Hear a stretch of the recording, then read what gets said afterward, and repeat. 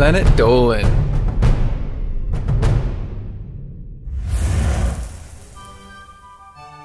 What ancient monument could collapse within the next five years? What World Heritage Site is already one third gone? Here are 15 historical places that are crumbling because of tourism. I'm Melissa, and today I'll be your narrator. Number 15. Physically, the pyramids are having a hard time because of erosion, but they're such a common tourist trap now that the history and culture of the site has really worn off. Visitors to the pyramids today say that they can see them from the Pizza Hut, where they're surely getting a very traditional Egyptian experience. Number 14.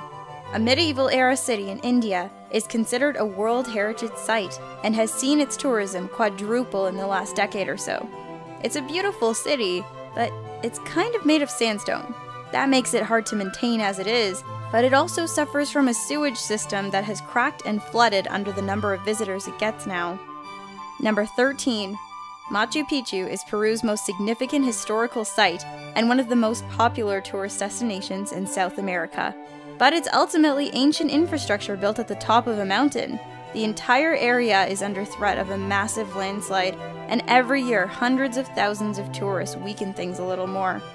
And those are just the regular ones. In the year 2000, during an on location shoot for a beer commercial, the hitching post of the sun, an ancient sundial, was damaged by a falling boom mic. Number 12. Defacing the walls of Rome's ancient Colosseum is expressly forbidden, so naturally, people do it all the time.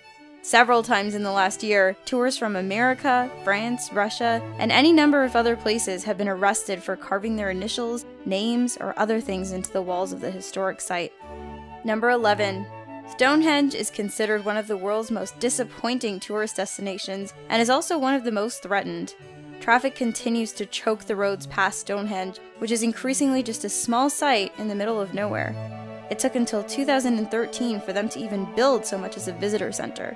Most days, people can't even get close to the stones, but when they do, on the summer and winter solstices, the site suffers all sorts of damage from graffiti to chewing gum to people literally trying to light fires on them.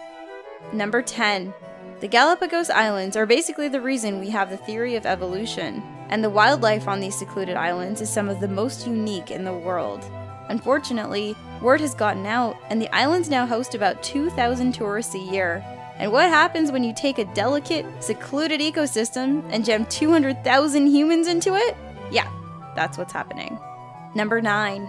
The Taj Mahal brings in over 3 million visitors a year, more than twice that of any other tourist destination in India. But the marble structure has been ravaged by pollution from surrounding factories and industry. And the wooden floors have become so damaged by the intense foot traffic, experts believe the foundation could collapse within the next five years. Number 8. Parthenon hasn't really been the victim of extreme damage from tourists directly, it's just that Greece hasn't put much effort into maintaining it. Previous attempts to restore the Parthenon to make it more accessible to tourists have actually done more damage. Iron pins added to stabilize the structure in the 19th century ended up rusting, causing new cracks in the marble. The Parthenon also suffers from pollution damage. Number 7. Mostly, people who visit the Great Barrier Reef are respectful of it and treat it with care and caution.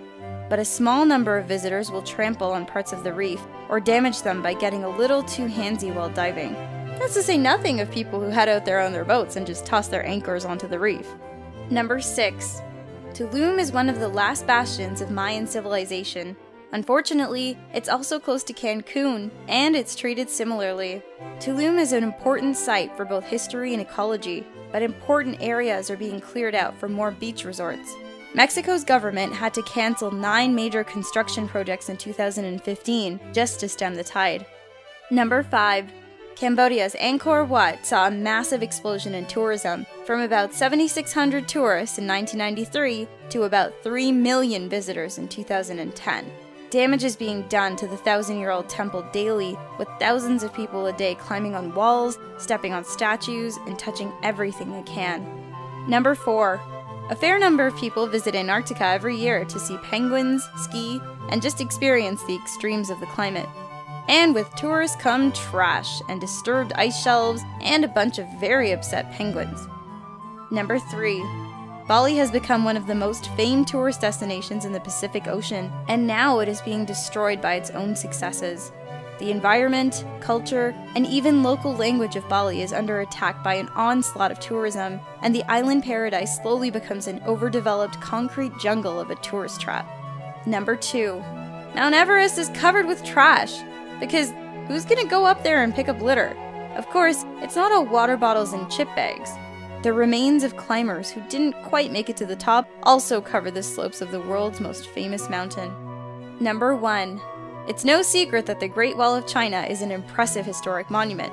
Everybody knows you can see it from space, and that it's been there for centuries. What you may not know is that about a third of it is gone. Despite efforts to maintain it, the wall is crumbling from age and heavy foot traffic. It was really only built for a few soldiers to walk along the top of. Now, it suffers the weight of millions of visitors a year. Which of these places would you like to visit? And preferably not ruin? Leave us your comments and we'll pin our favorite to the top. Catch you guys next time.